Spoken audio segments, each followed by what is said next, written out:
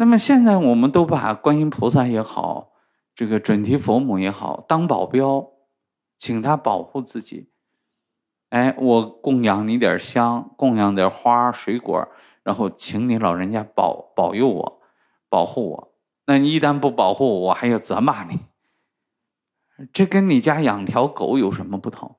哎，养条狗看门护院，你把这些佛菩萨当狗用，当奴才用。当这个，你请了一个保安员来用，是不是附佛外道啊？啊，是这这叫附佛外道。那么我们要不要求佛菩萨呢？要求。你求佛菩萨干什么？这个目的很重要。你如果只是求佛菩萨为了发财，为了这个盗贼不入门，给你看家护院。这就是邪门歪道。你是魔，你是大魔头，你对佛不敬，对菩萨不敬，你没有真正的尊贵这些佛菩萨。哎，这个李显龙总理到你家做客，你让李显龙看门啊，说：“哎，李总理啊，你你不要走了，我天天给你点茶水。”给你点鲜花，给你点水果，你就坐在我们家那个那个佛堂上面给我看门就这个道理啊！你让一个尊贵的总理不做他本本职的工作，到请到家里去给你看门你付起付得起他的薪水吗？一年好几百万啊！你付了多少？一一杯茶水，两两粒橙子，啊，一束鲜花，这就把他买了。这就把他请了。他说：“我们今天大部分佛教徒是在行邪道，世人行邪道，你是附佛外道。尤其很多人把师傅请回家当保安，把师傅请回家当保镖，不但要保镖你，还要保镖你家里人。”儿女走到哪儿，你这个菩萨，你都要跟着我到哪儿去保护他，不但让我没有危险，他们这些人也不能有危险。说这是什么心态？这不是佛门正法，这是佛门外道、附佛外道、歪门邪道，是为了你这个躯壳，为了你的贪嗔痴疑慢。地狱五条根，他要拥护你这个，保护你这个，那你不就还是要堕地狱吗？那诸佛菩萨到你家干什么呀？他到你家是保护你堕地狱，为了你成功堕地狱，保护着你去贪，贪了一定能得到，啊，保护着你去嗔恨，这个我念念咒。那个冤亲债主，那个小人，我念念咒让他头疼，我念念咒让他不得好死，啊，这个咒就显灵了。你这不是嗔恨？嗔恨不是堕蛇蛇道去投胎了？那诸佛菩萨能让那个咒好使啊？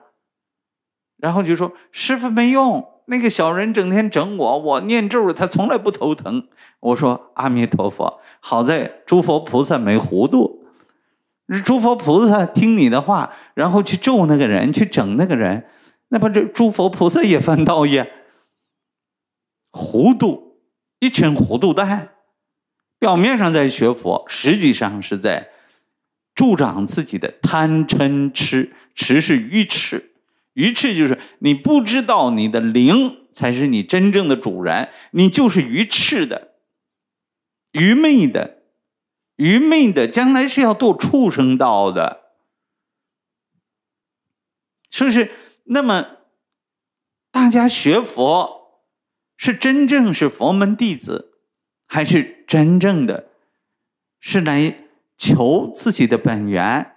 明白释迦牟尼为什么说我本来是佛呢？还是来找保镖？有些人这个埋怨我。说师傅，你看，我我来见你了，然后结果我的病还是没有好。我来见你了，结果我想发财还是没有发财。我也来上课了，结果还是没有发财。你让我做法会，我也做了，你看还是没有发财。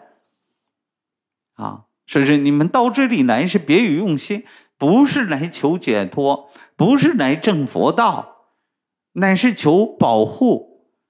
哎，然后我给你了，你必须要付出，你必须给我当好这个保镖，你必须给我当好这个财神。我需要多少钱，你得给我送来。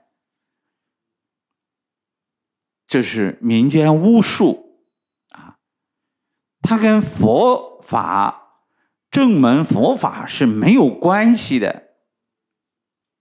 就是很多人哎，我们去那个道场一求就灵啊，然后哎跳通的、供动物仙儿的啊，可不是一求就灵，他们有神通啊啊，他别有用心啊。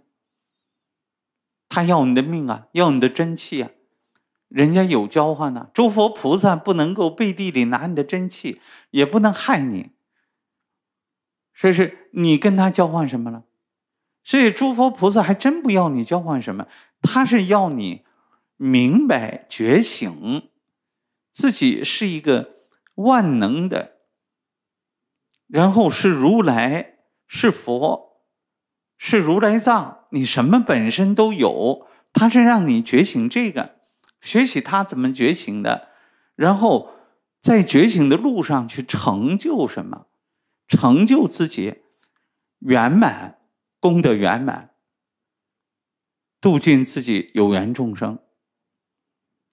所以大家不要搞迷信，特别我们正门正法的佛法。是乃自于你自修自证的佛法，不是求保佑的佛法。欢迎点赞、留言、分享，弘扬正法，广结善缘，功德无量。